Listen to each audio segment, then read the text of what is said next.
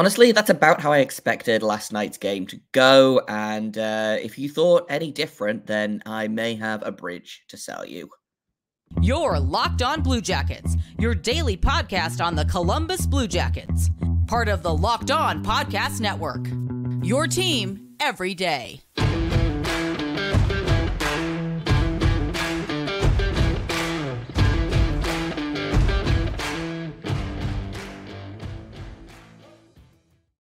Hello and welcome to Locked On Blue Jackets, part of the Locked On Podcast Network, your team every day. I am, as always, your host, Jay Forster, here to give you the good, the bad, and the ugly about your favorite team and mine, the Columbus Blue Jackets.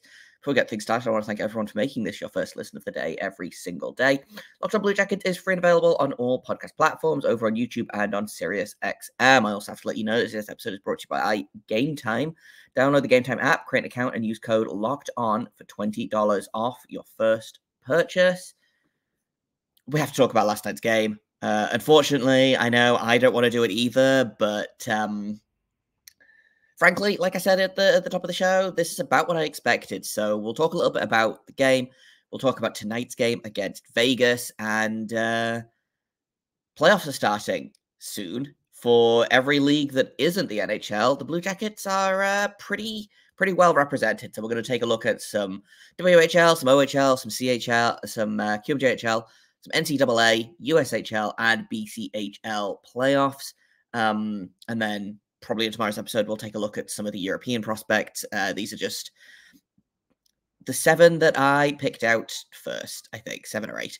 Um, but let's talk about last night's game because, like I said, it went about how I expected. I didn't expect them to let the Colorado Avalanche have 51 shots on goal, which, um, if you're if you're keeping track, that is more than double the amount that the Blue Jackets managed.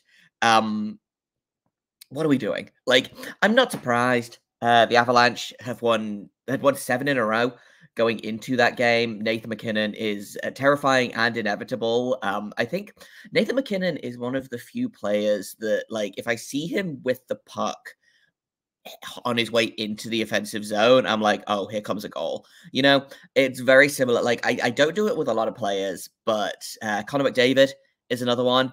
Um, MacKinnon's kind of more terrifying though because he does just kind of thunder down the wing like a runaway train. Um, and when I watched the Avalanche play in San Jose this year, I did spend a lot of the game just going, "Uh oh!" Every time MacKinnon had the puck, so like unsurprised, uh, pleasantly surprised that they took it took him three per- the until the third period to uh to register a point. He had a 16 game point streak and a home game point streak of 32 games.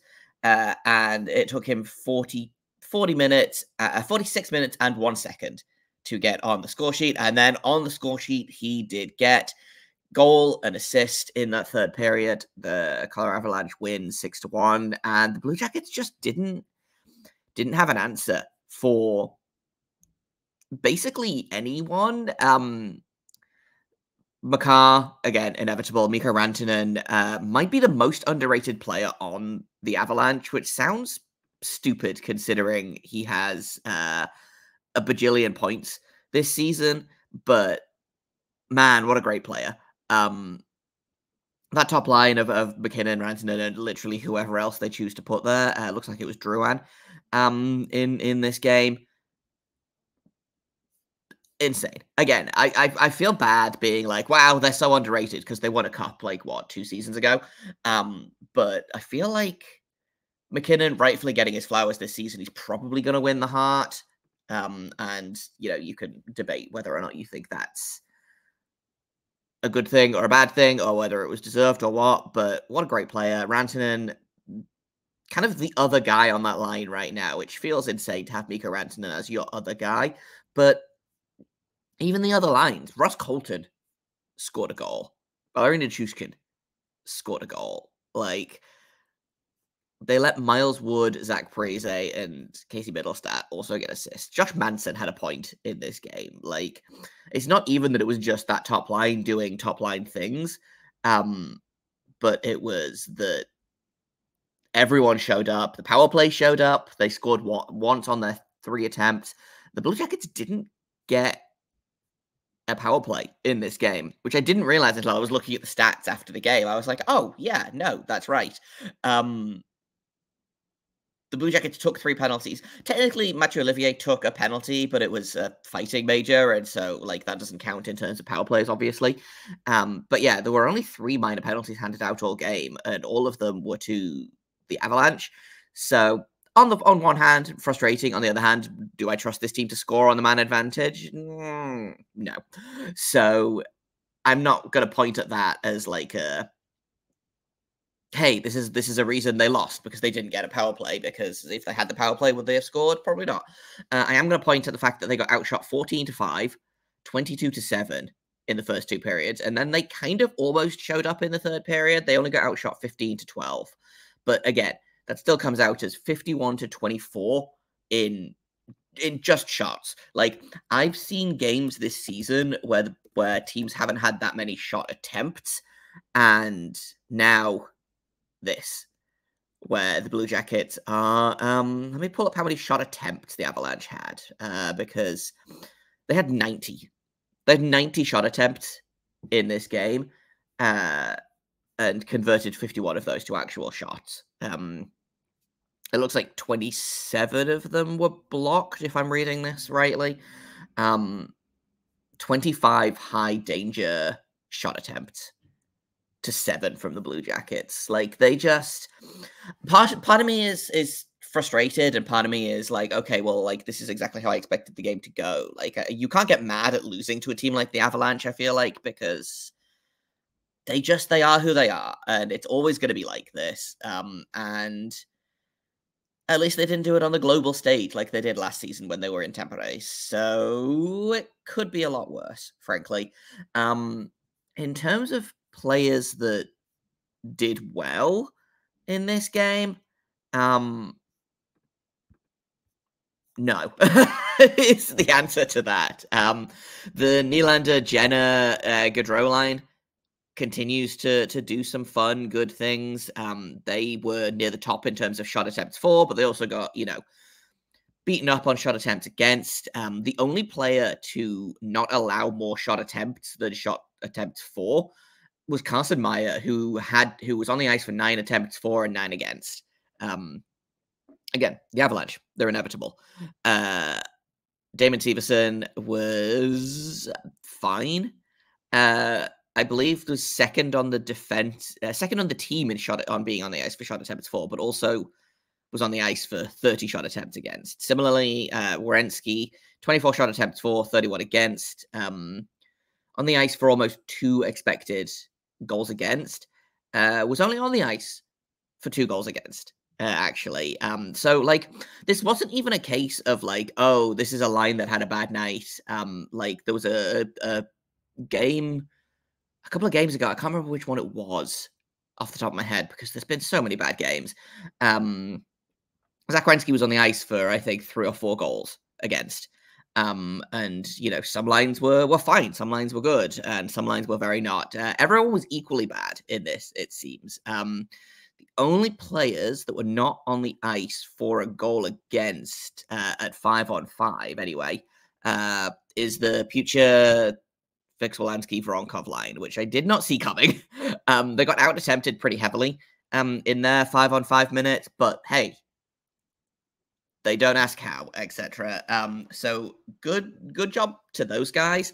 Um, they didn't create a ton, but they also didn't give a ton up. And frankly, at this point in the game, I'll take that. You know, um, I did not have the Voronkov, Fix-Wolansky, Pucci line being the most effective defensively, but I guess that's where we are. Um, they, like I said, they didn't create a lot. They only collectively created uh, 0.28 goals for, um, expected goals for, excuse me, but they also only allowed an expected goals against of 0.18. So they were, I believe, the only line that created more than they allowed, which is pretty impressive. Um, that Marchenko Sillinger Texier line, not great.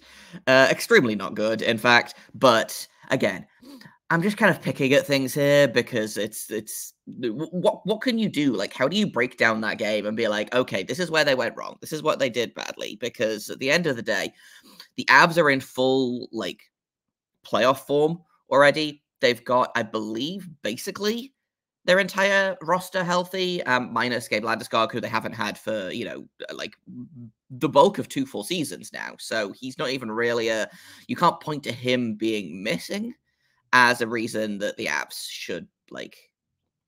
If the Avs lose a game, they can't be like, oh well, we haven't got our captain because he hasn't been there for two years. So like, obviously, it does take an effect, but I'm not sitting here like, well, that's a big loss for the team, but they don't know when he'll be back, etc., etc. Like they've had, they've dealt with this for two years.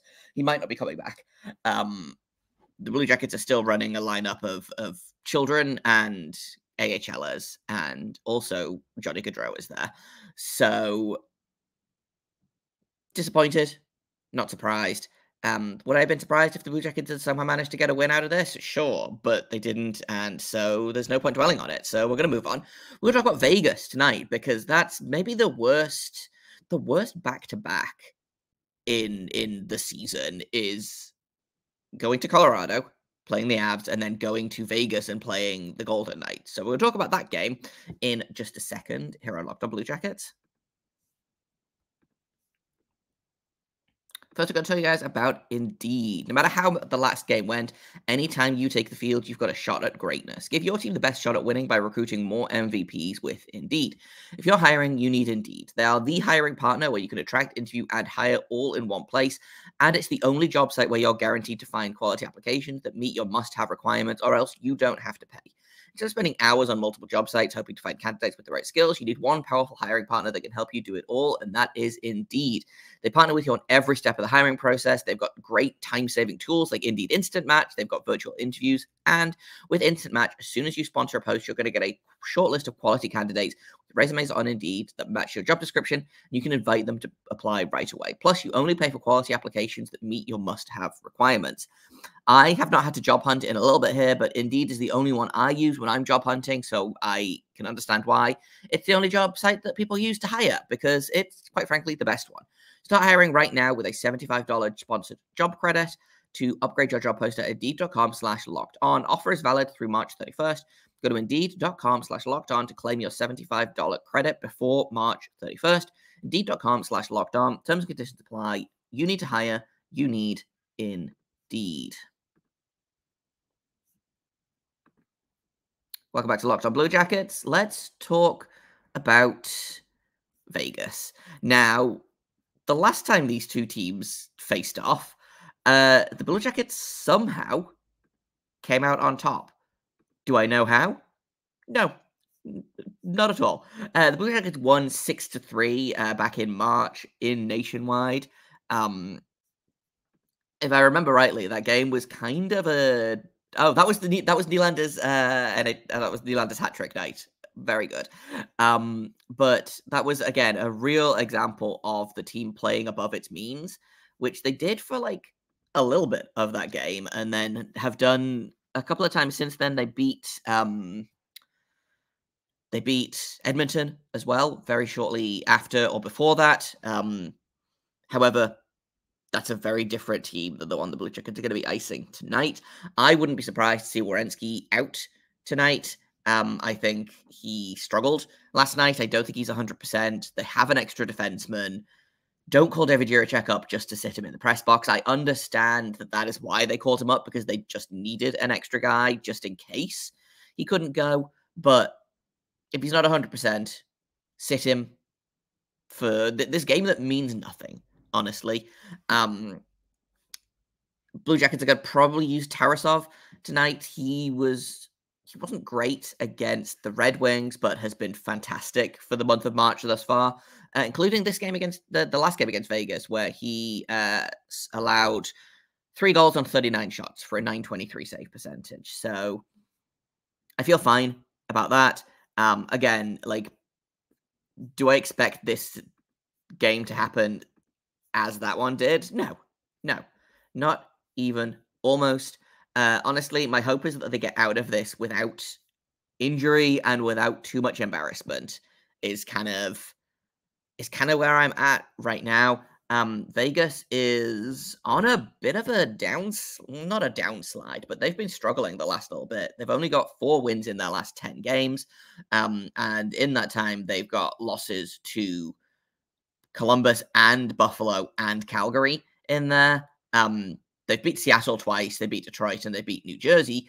Um, but they're looking, again, they're looking kind of mortal here. So, it genuinely wouldn't shock me if the Blue Jackets decided to come out and win this game.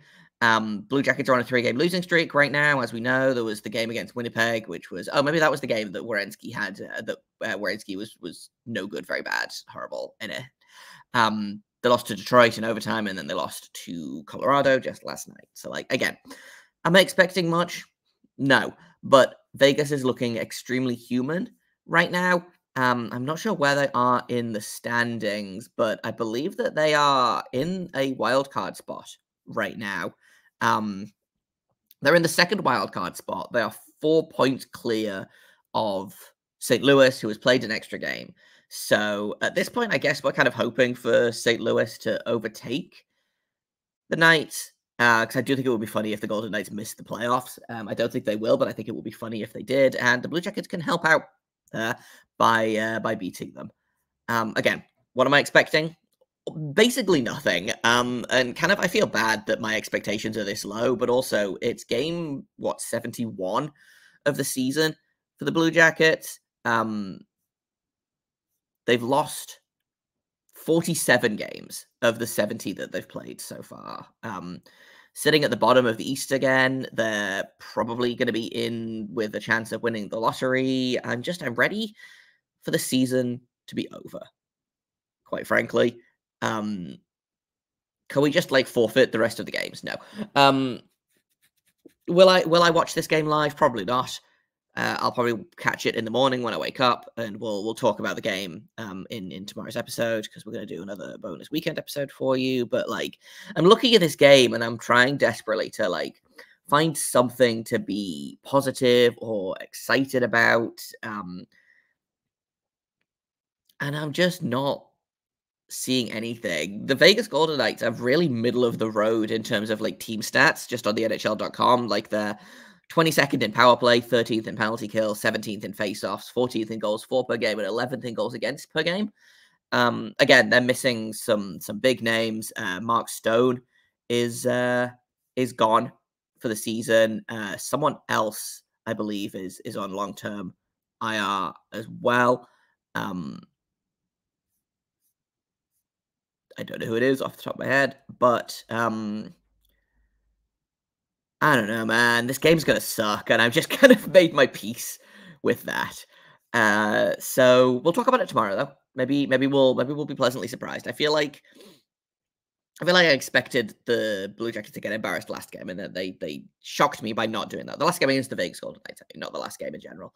Um, but we'll talk about it in in tomorrow's game, and hopefully it will be, if not a win, then at least less embarrassing than last night against the Avalanche.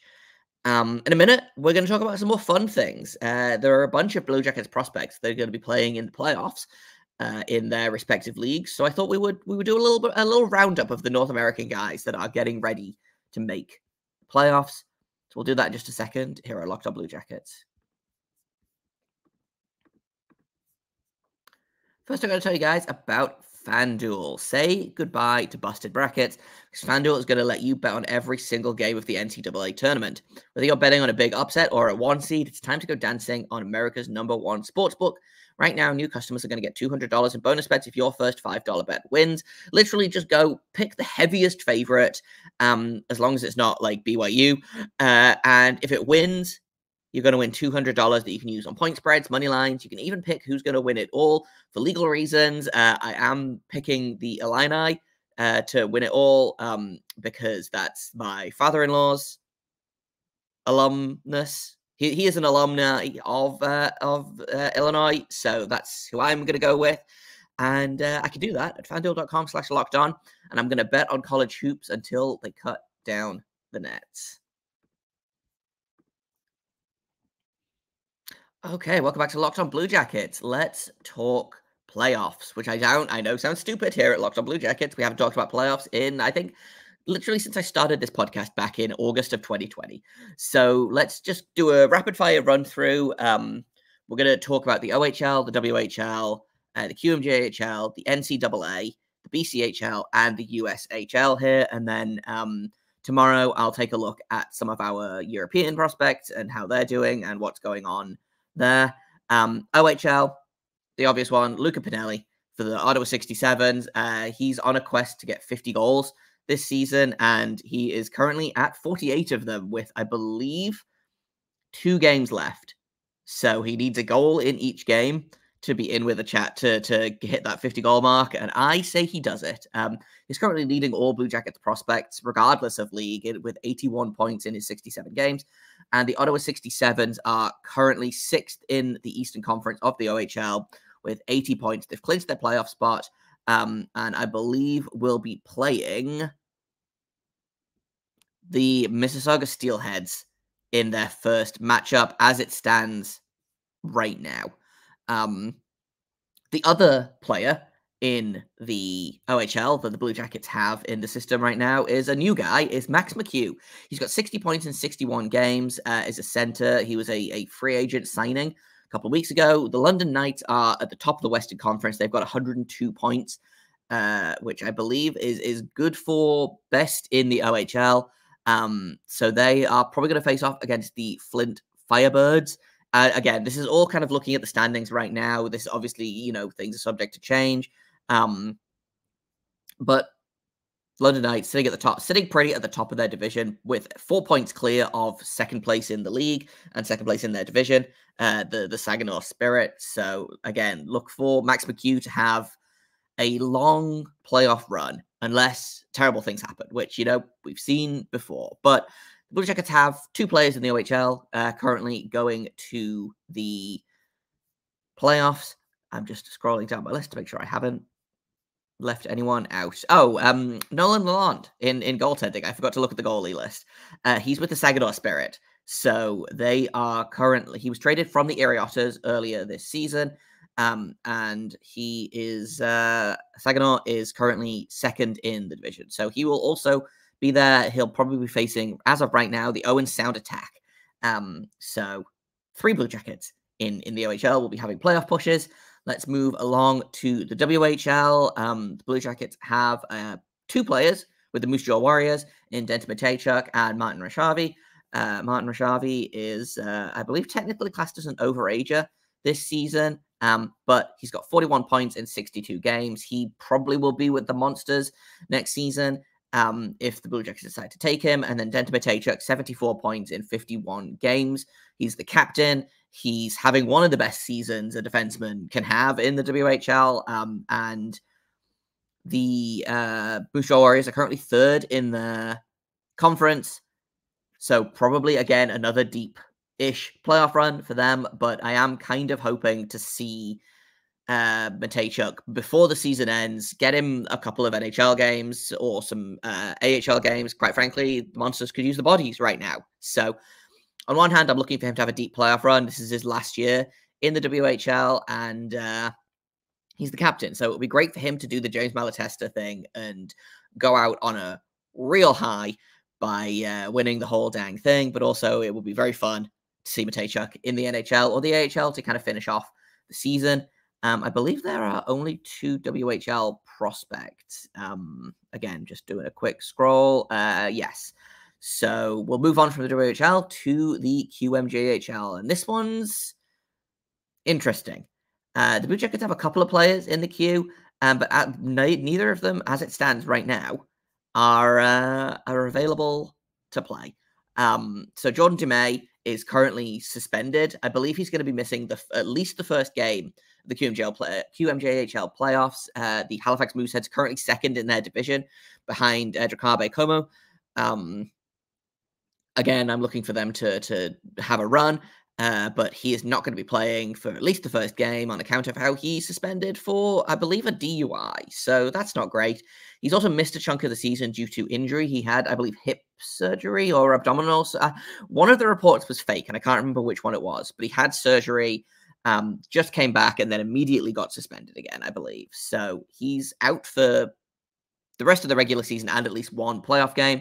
And then the other QMJHL prospect that the Blue Jackets have was traded from the Drummondville, uh, the Drummondville Voltigeurs to the uh, St. John Sea Dogs, uh, which is kind of a downgrade for him because Drummondville is top of the West and St. John is ninth in the East and is probably missing the playoffs. I'm not sure how many uh, teams make the playoffs in the QMJHL, but as of right now, he's on the outside looking in. Um, had a, a decent season here. Again, as a guy that was kind of a, a throwaway pick, um, 14 points in 37 games with Drummondville, and then 17 get points in 27 games with St. John. 31 points in 64 games overall is not bad for a seventh round draft pick. Um, interested to see what he does next season. More, more than this season, honestly. I'm excited to see what he does next season. Um, so that's all of the major junior. Let's take a quick look at the NCAA. Blue Jackets have two prospects, uh, I believe, in that uh, in Gavin Brindley, who's playing at the University of Michigan, and um, William Whitelaw, who's playing at the University of Wisconsin. Um, they also have uh, Guillaume Richard at Providence and Aidan Hreschuk at Boston College. So Boston College is a is a team to watch. Um, they are extremely top heavy.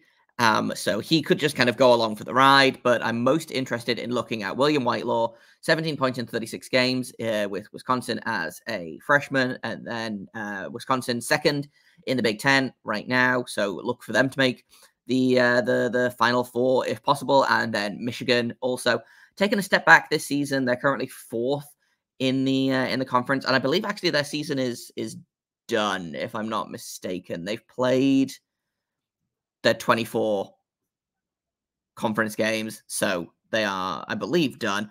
Uh, sitting again at fourth in the Big Ten. That's good to make the playoffs. We'll see. They're going to be placing off against Michigan State, which is going to be tough. Um, but again, Gavin Brindley, 51 points in 36 games, sixth uh, nationwide. Somehow did not get nominated for the Hobey Baker, despite being named the Big Ten Player of the Year. Um, but look for Michigan to to do something in the playoffs because they always do.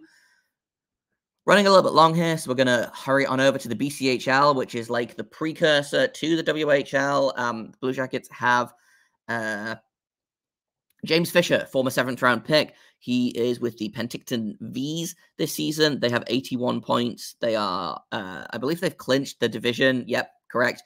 Uh, and they will be playing the Prince George Spruce Kings in the first round if it stands if the the standings end as they are, which I imagine they will. I don't think Prince George is going to jump Cranbrook, Cranbrook, who is fully 10 points ahead. Uh, so look for, for James Fisher to get involved. Um, he is currently at 36 points in 51 games with Penticton, uh, and I believe he's going to college next year. So he'll be an interesting one to watch for sure. Yeah, he's he's uh, committed to Northeastern um, next year. So again, definitely a, a, player to keep an eye on for the Blue Jackets. And we're going to finish off USHL. Uh, Andrew Strathmann is with the uh, Youngstown Phantoms. He's suspended at the minute, and I don't know what for, and no one seems to really know what for. Um, I suspect it might have something to do with the fact that Youngstown has the most penalty minutes of any USHL team, but they're currently fourth in the standings, haven't clinched a playoff spot yet, it looks like. Uh, but if all six, I believe six teams in each conference make it, so they will be playing, uh, if, it, if it stands, they'll be playing the Muskegon Lumberjacks, who are the third seed.